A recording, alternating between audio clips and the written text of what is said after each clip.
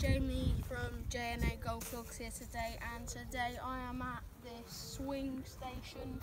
And today I got a new driver, the M2, and yeah, I'm gonna try and hit it as far as I can, as well as I can, and yeah, just try and get it going with it. Uh, played some holes today already. hit my driver 250, average 230 maybe, and yeah, let's hit a few. So I'm going to be aiming for that like dotted line on the right.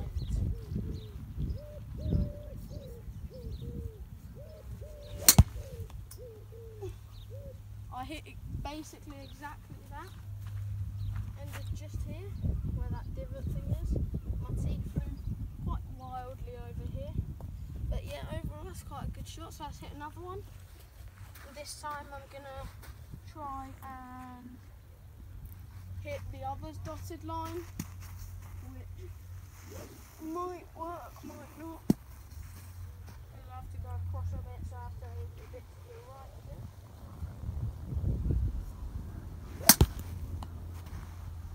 That was a great shot. Gone quite high, but as you see, it's just on that line, which is what I was aiming for. And now I'm going to try and hit in between the two dotted lines. See if I can do well. Oh, I won't do well if I don't get the ball on the tee. Right, So I'm going to be aiming in between them.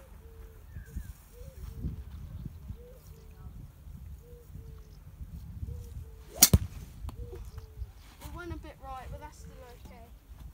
So hit three shots, quite did quite well. Thank you for watching, guys. Uh, remember to like, subscribe, and what was the other bit? Like, subscribe, and comment.